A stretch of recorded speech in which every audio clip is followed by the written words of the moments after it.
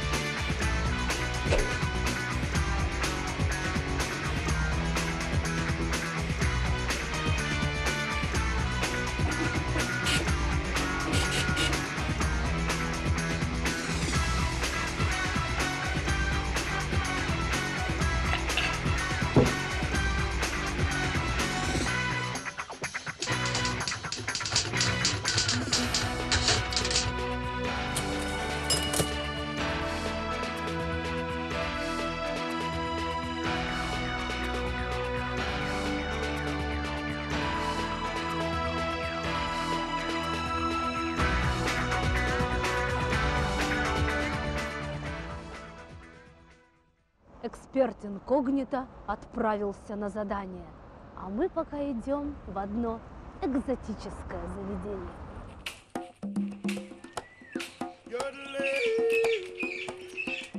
Но кто же его не помнит? Ресторан «Кантина База» был первым, лучшим и долгое время единственным рестораном мексиканской кухни в Киеве. Однако со временем любое заведение нуждается в реконструкции.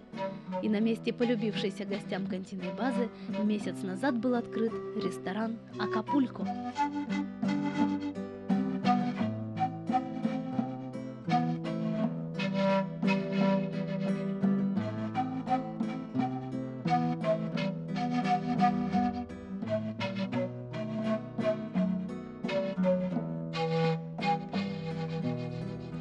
Индейские маски не просто украшают интерьер, они и символы, и талисманы. Вкусными блюда здесь были всегда. Вспомните хотя бы бесподобные ребрышки с разнообразными мексиканскими соусами. Этот кулинарный хит континной базы снова в меню Акапулько, так же, как и полюбившиеся салаты садовые и мексиканские. К великой радости гурманов цены остались прежними и, учитывая большие порции, весьма доступными – а к великой радости любителей текилы в Акапулько по-прежнему готовятся потрясающие коктейли. Текилу бум надо потрясать очень энергично, ударять сильно, так, чтобы хозяин остался доволен. Фирменный же коктейль Акапулько для прекрасных дам. Он более нежный, но тоже с текилой. Всем известно, что она делается из кактуса. Так вот, в Акапулько голубую агаву выращивают прямо на подоконнике. Зачем? Об этом как-нибудь в следующий раз. Шановні друзі, якщо вам сподобався наш ресторан, у вас є чудова нагода виграти прекрасну вечерю на двоїх. Потрібно відповісти на одне питання: де, коли і ким було засновано місто Акапулько. Щасти вам! Запишите телефон ресторана и запомните, что победитель отведает новые экзотические блюда ресторана Акапулько. Салат от шефа, мясо по-юкатански, лосось и мороженое на десерт. Желаем удачи! В конце прошлого века некоторые недовольные зрители, кстати, спасибо, что вы есть, нас упрекали. Мол, вы все рестораны показываете, да рестораны, но мы-то по ресторанам не ходим все больше дома, на кухне, вечера коротаем. Окей, наш любимый недовольный зритель. Отныне в программе вводится рубрика «Посидим на кухне» или просто «Посиделки».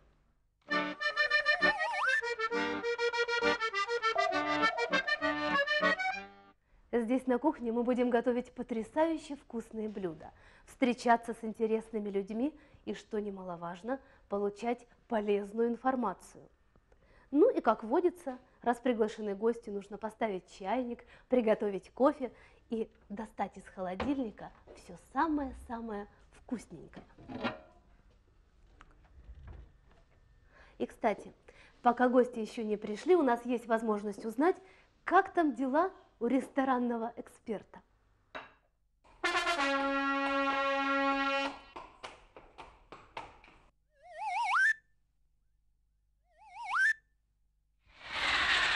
В трактире «Война и мир» ревизор отметил отличное обслуживание и превосходную кухню, которая как раз соответствует старым русским традициям. Однако впечатление смазалось процедурой расчета. Копию счета официант не принес. Может, потому что было очень поздно, и он просто устал? А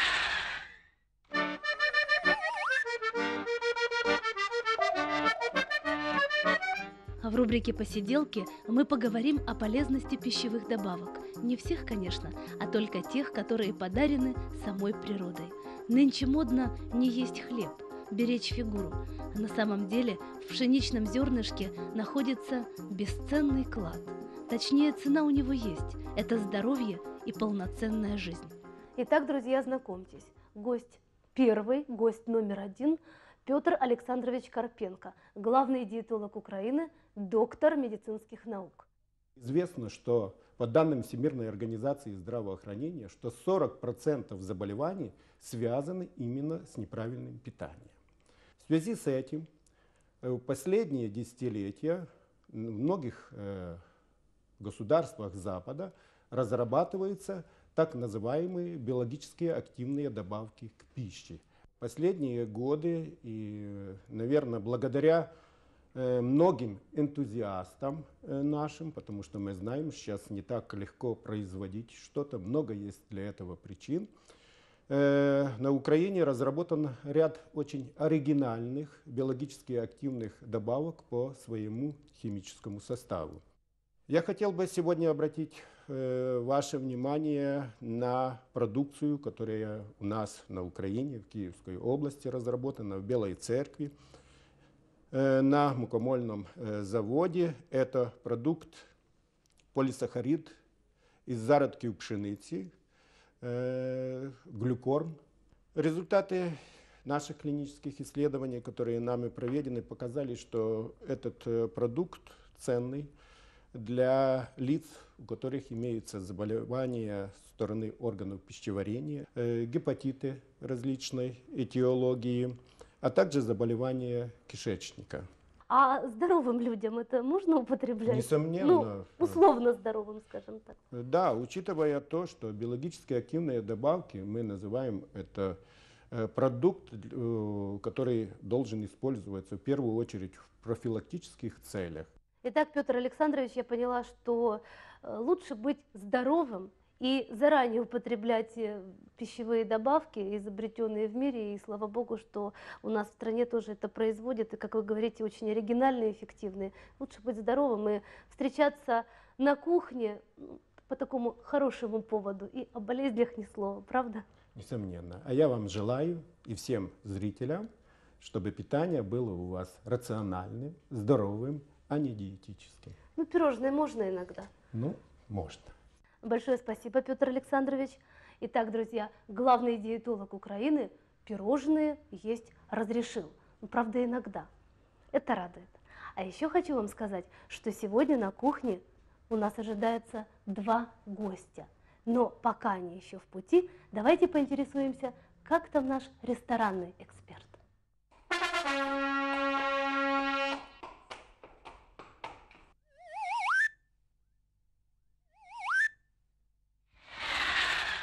Первак оказался единственным рестораном, где ревизор захотел оставить и оставил официанту чаевые. Приятно поразило все – и высокий уровень обслуживания, и кухня.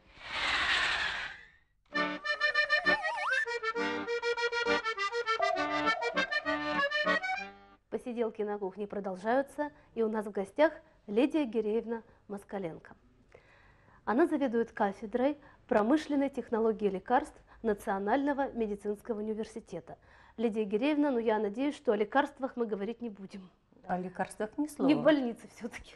Мы все любим ходить в гости и либо принимать гостей у себя дома. Но после такого нокаута, как правило, мы себя чувствуем крайне неважно. И нам нужно исправить это состояние для того, чтобы препятствовать ему, а также препятствовать экологическим ксенобиотикам, вредным факторам. Мы должны как можно больше применять антиоксидантов. Так а что такое антиоксиданты? Антиоксиданты – это комплекс природных витаминов, микроэлементов, которые оздоравливают человека. Наилучшим кладезем антиоксидантов является зародыши пшеницы. Они известны давно. Это кладезь натуральных витаминов, микроэлементов и, конечно же, антиоксидантов. Применяется зародыши пшеницы достаточно удобно. Столовая ложечка. С этой ложкой вы получите 20... Спасение. Спасение от всего, потому что мы получаем в одной столовой ложке 12 витаминов, 18 аминокислот, 21 микроэлемент. Кроме того, фирма Славия утраивает действие зародышей пшеницы, обогащая их соответствующими наполнителями. Стевией, натуральным подсластителем растительным, ламинарией, морской капустой или грибами шиитаке. Грибы шиитаке применяются как пищевая добавка, затворяются во многие продукты питания, в хлеб, макароны, напитки и даже чаи. Самые хорошие результаты мы получили при применении зародышей пшеницы в детской практике. Мы видим с вами наших деток, этих нахохленных воробушков, которые страдают от тяжелых физических нагрузок, умственных нагрузок в школе. Кроме того, грипп э, также усугубляет состояние здоровья деток. Поэтому необходимость в резком увеличении витаминов и микроэлементов возрастает. Зародыши пшеницы прекрасно справляются с этим. Они поставляют деткам витамины, микроэлементы и антиоксиданты, которые дают дополнительную энергию, силу и сопротивляемость. Надо же как-то заставить еще этого ребенка съесть. Это зародыши. достаточно приятно. Эта масса э, напоминает орехи. Она очень вкусная. Дети с удовольствием ее применяют, но только затворяя в пищу, которую мы кушаем, не подвергая кипячению, не подвергая термообработке. То есть смешал с молоком или просто... Да, и выпил, ложечку оздоровился, и принял в себя энергию солнца, энергию ветра, энергию воды, которую впитала в себя пшеница, и отдала ее нам. Лидия Гиреевна, большое спасибо за такой интересный рассказ.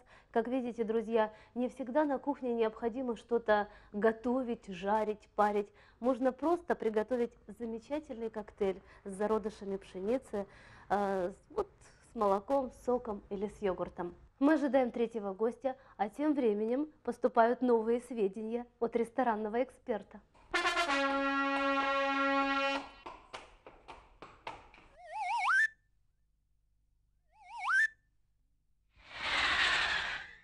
Официант не очень хорошо знал меню. Почему-то шаталась стеклянная столешница. Но все бы ничего. Да вот сдачу почему-то несли 25 минут. И это при том, что 10% от стоимости заказа в этом ресторане сразу берут за обслуживание.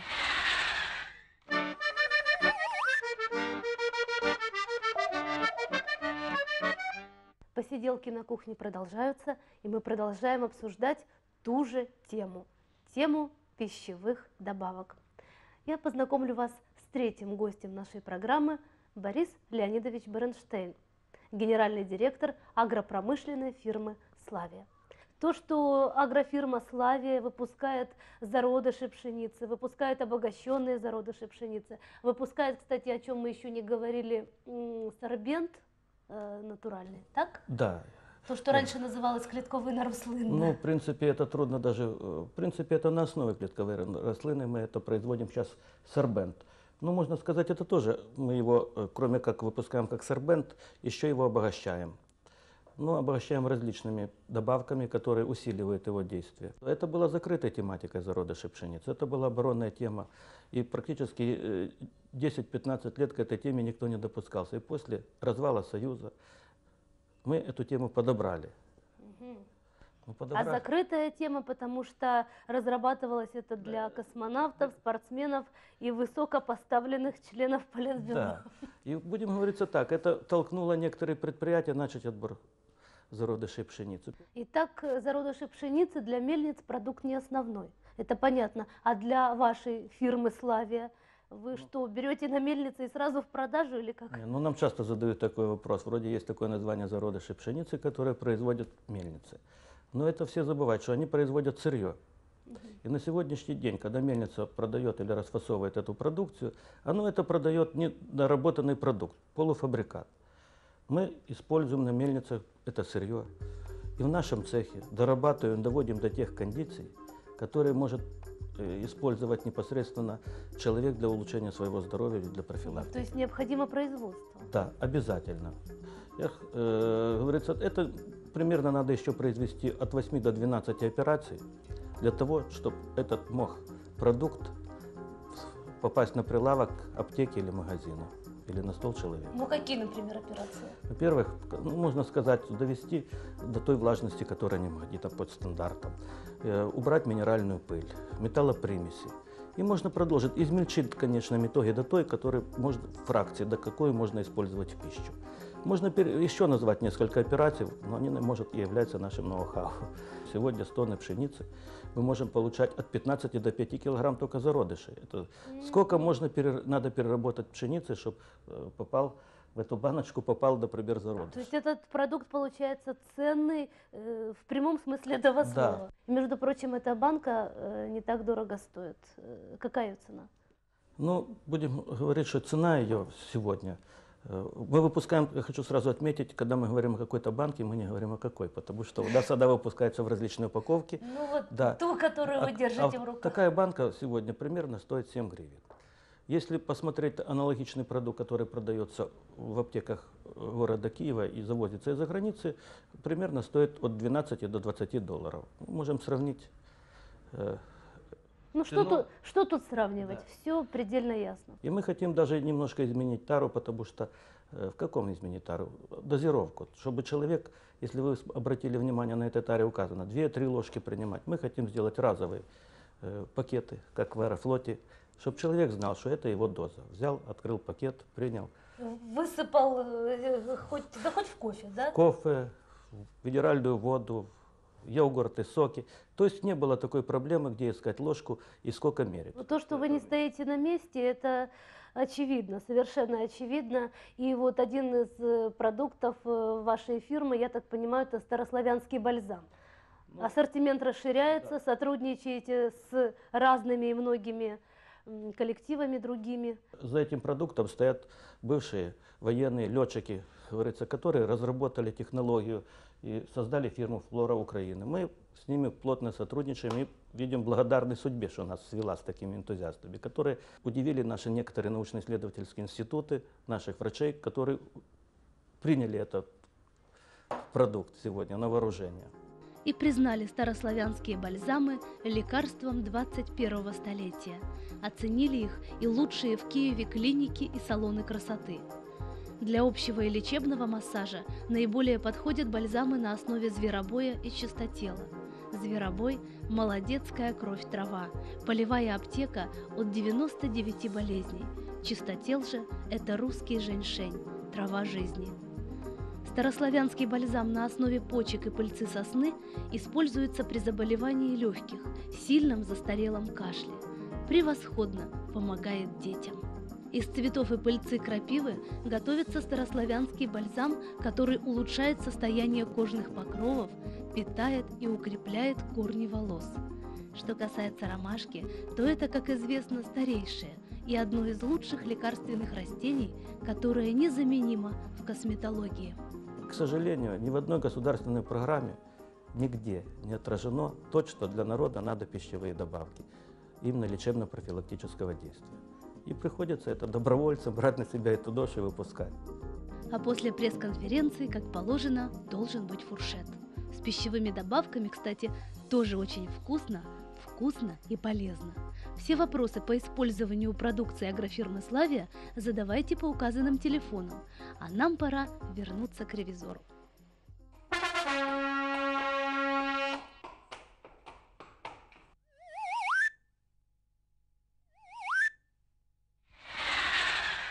Хорошо, что ревизор оказался заядлым курильщиком, а то в заведении под названием «Аромат исходу» ему было бы просто нечего делать. Кальян надо понимать. Покорил артистизм официантки и богатейший ассортимент кофе.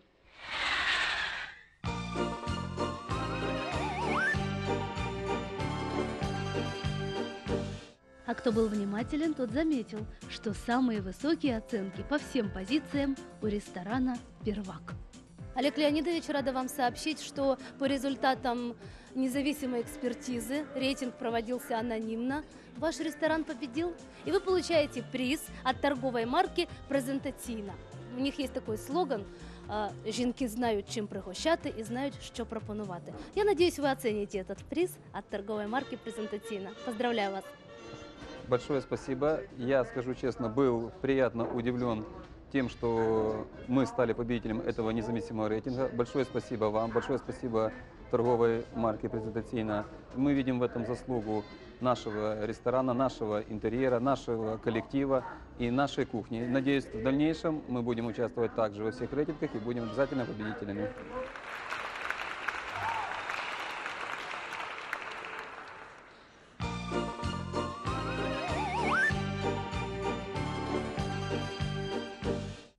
Оказывается, первак – это увеселительное заведение, посвященное Киеву конца 19-го, начала 20 века. В пяти залах в стиле гротеск отражена городская жизнь того времени. Есть здесь и Крещатик, и зал немого кино, и Липки, и провинция, и Бессарабка с обжорным рядом. О здешней кухне быстро не расскажешь, а вот питейная аптека – это что-то уникальное. Симпатичная сестричка мгновенно вылечит, как говорили раньше, вид нудьгы – а живая музыка поможет закрепить результаты лечения. Еще много чего интересного есть в увеселительном заведении «Первак». Однако пора уходить, а на легкую дорогу тут всем наливают на коня.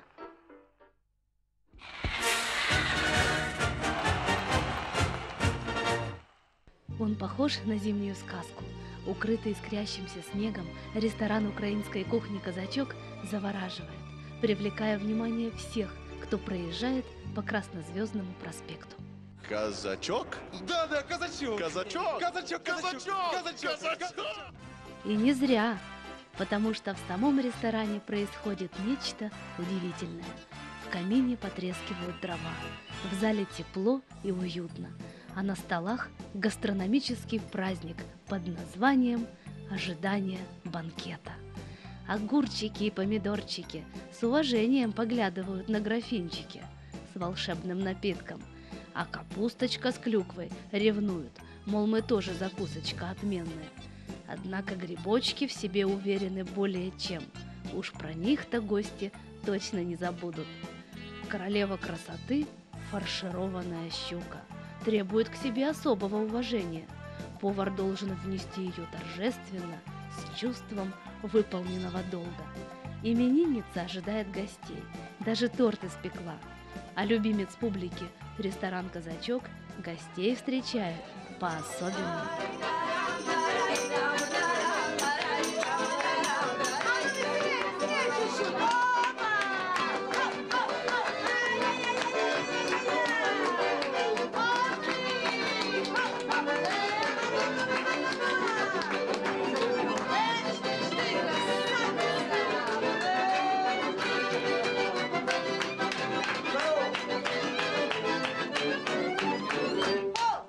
И чем же ресторан «Казачок» так пришелся по душе?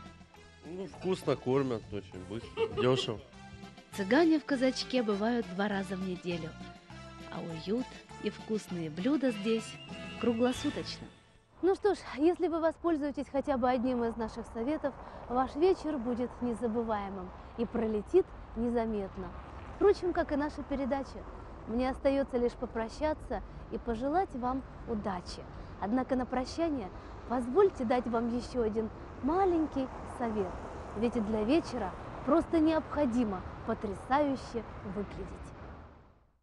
Для этого лучше всего воспользоваться услугами профессионального салона красоты, такого как Клеопатра.